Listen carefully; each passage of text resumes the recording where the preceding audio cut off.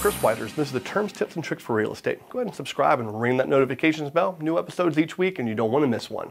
This is episode 150, and today we're talking about the timeline for selling. It's actually our last uh, entry in the 12-part series on listing your home for sale. We're hoping that this, uh, with the spring market coming around, we're hoping that this series is going to help you get ready. Uh, one of the reasons you need me simply is industry knowledge and experience.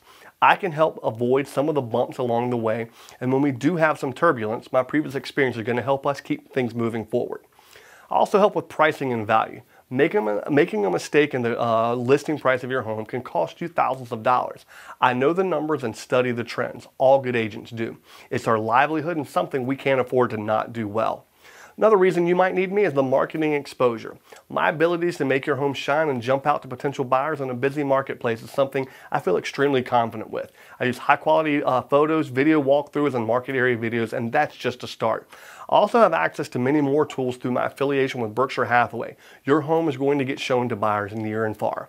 If you like these videos, there's plenty more of them over on my website at chriswhitehurst.com. I'm on most popular social media sites. Until next time, I'm Chris Whitehurst.